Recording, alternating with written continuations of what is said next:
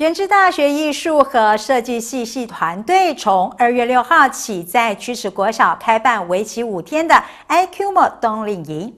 带领小朋友结合在地文化、城市设计和创意实作，自己动手做出独一无二的 IQMO 互动机器人。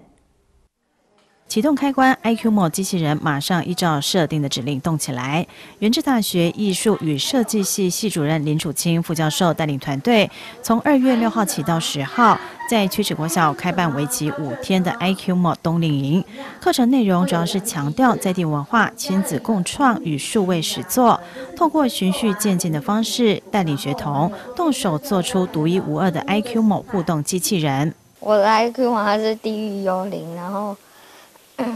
他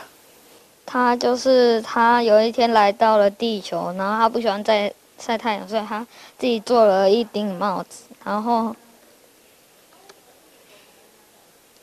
然后他带了三个宝宝，然后他他他这样按这个是他喷火给你，很生气。IQMO 机器人运用林楚清副教授团队自行研发设计的机构设计包，透过感测模组拥有感知互动功能。每个学生所完成的机器人造型都不一样，并且可以执行不同的动作。作品从设计到完成耗费不少时间与脑力，但孩子们都相当有成就感。那这只柜是我们的课程的规划，有透过数位制造，他要学镭射切割，怎么画图，然后切割，然后做机构的设计的组装。我们有机构材料包，然后他自己要组装，然后还有就是写程式，主要程式的部分就是做一些互动的部分。那之后这个 IQMO 这一只怪兽就会让他带回去，然后他可以持续给他就是用不同的程式控制。IQMO 冬令营是林楚清副教授团队参与由法兰茨主办。结合艺术创作与偏乡教育的年度性公益计划，